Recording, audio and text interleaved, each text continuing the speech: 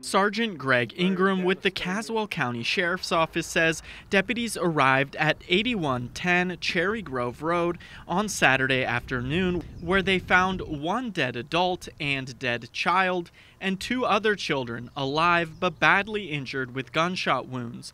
The suspect was gone. And at that time, the suspect actually fled the scene on his vehicle and traveled into Alamance County, uh, where we had basically put out a be on the lookout for the suspect. He says the Alamance County Sheriff's Office found and pulled the suspect over.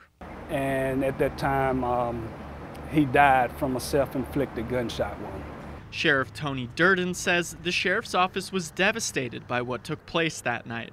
You know, at the end of the day, is bad decisions that was made, and there were lives that have will be changed forever. And now the Caswell County community, including those who work for the North Carolina Adult Corrections Department, are mourning the loss of 37 year old Danielle Hines, who worked as a corrections officer for the past several years. The status of the two juveniles who were sent to the hospital is still unknown. A GoFundMe set up by the family says the child killed was Hines's daughter.